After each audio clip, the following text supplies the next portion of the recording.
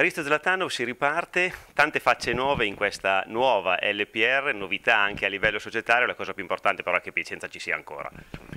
Infatti hai già detto tutto, tutto nuovo, l'unica cosa veramente importante sia per, per noi, per il volley, ma anche per la città è che questi signori si siano dati da fare per salvarci e che siamo ancora qui a parlare di volley e non di, di, di fallimenti.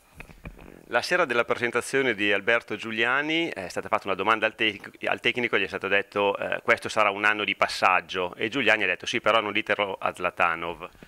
Ma guarda, lo sport è agonismo, quindi noi siamo qui a sudare, a dare il massimo, non per passare il tempo ma per vincere, quindi è vero che molto probabilmente, quasi sicuramente non abbiamo una squadra da vincere, però questo non, non, significa che ci possiamo togliere delle soddisfazioni o non scendiamo in campo per, per passare un'annata così, perché non è, non è da me.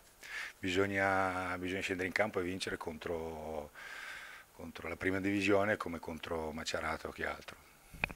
In 30 secondi riesci a riassumerci che estate hai passato? Eh, sì, eh, l'estate è stata che eravamo su un precipizio, eravamo dentro al burrone senza nessuna cima che ci potesse salvare, quindi è stata una bruttissima estate fino alla conferenza stampa alla quale hanno annunciato il salvataggio e non soltanto il salvataggio ma anche un seguito, un futuro e da lì in poi sono iniziate le vere vacanze. Da adesso però bisogna parlare ovviamente solo di pallavolo, questa squadra hai già detto non è probabilmente da primissimi posti, ma dove può arrivare secondo te? Dove può arrivare? Arriva, non lo so, adesso non, non voglio dire niente prima di aver parlato prima col tecnico e aver fatto almeno un allenamento, però non lo so, mi, dovremmo arrivare almeno a fare i playoff, mi auguro. L'obiettivo tuo personale?